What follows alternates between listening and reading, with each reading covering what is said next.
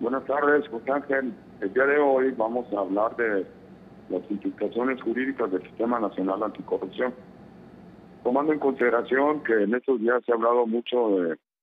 eh, poca transparencia en la, en la rendición de cuentas de algunos funcionarios, toma de decisiones arbitrarias, en fin, temas que tienen relación con el Sistema Nacional Anticorrupción. El 27 de mayo del 2015 se publicó la reforma constitucional que creó el Sistema Nacional Anticorrupción con una instancia de coordinación entre autoridades de todos los niveles de gobierno. El Congreso del Estado tiene facultades para emitir esta ley con base en el artículo 73, fracción 24 de la Constitución. Y eh, se habla de que el Sistema Nacional de Corrupción es una instancia de coordinación entre las autoridades de todos los niveles de gobierno para la prevención, detención y sanción de responsabilidades administrativas y hechos de corrupción, así como en la fiscalización y control de los recursos públicos de todos los niveles de gobierno. El Sistema Nacional Anticorrupción tiene un comité coordinador en el que están integradas la Auditoría Superior de la Federación, la Fiscalía Especializada en Combate a la Corrupción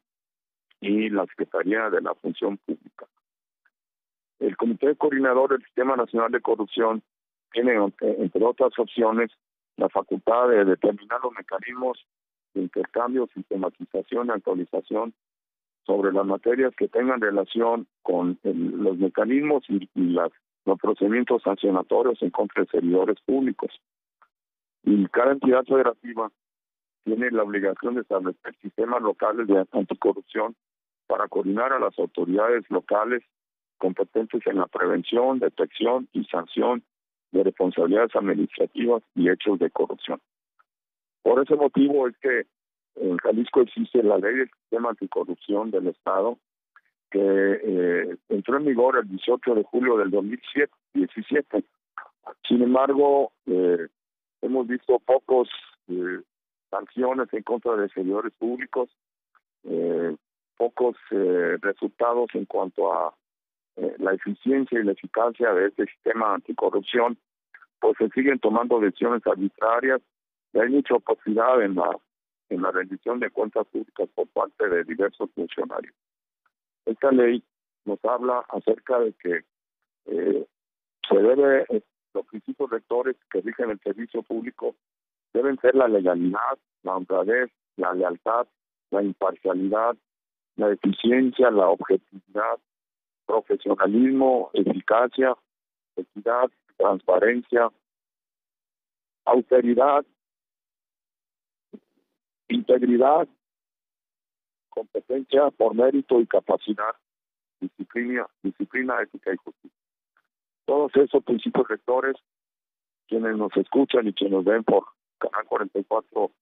darán fe de la forma en que se aplican estos principios rectores por parte de los funcionarios públicos, sobre todo los de primer nivel, que son los que toman las decisiones en el manejo de los recursos públicos y en la rendición de cuentas públicas. Y el sistema estatal de anticorrupción se integra por un comité coordinador, el comité de participación social y el sistema estatal de fiscalización. Hemos visto que en fechas recientes se han hecho algunas modificaciones al funcionamiento y a la operatividad del comité de participación social y los medios de comunicación y las redes sociales dan cuenta de inconformidades, no solo en, el manejo de cuentas públicas, en la rendición y transparencia del ejercicio de los recursos públicos, sino también en la toma de, de decisión, en la elección de funcionarios públicos que competen, pues a veces al Poder Legislativo, a veces al Poder Ejecutivo, pero bueno, los eh, televidentes y el auditorio de Radio Universidad tienen la palabra para que establezcan en qué medida se aplican estos principios rectores en lo que se refiere al sistema anticorrupción que existe en nuestro país. Es mi comentario por hoy, José Ángel. Espero eh, haya algún comentario de parte de los del auditorio y de los de los televidentes.